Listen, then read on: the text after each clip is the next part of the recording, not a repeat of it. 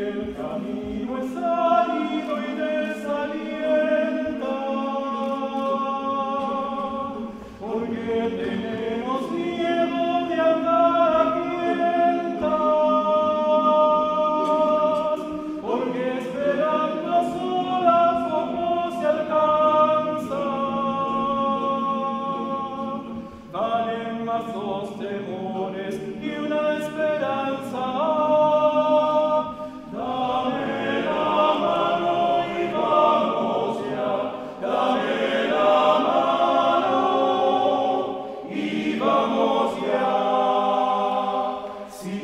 benedica essa per mi divina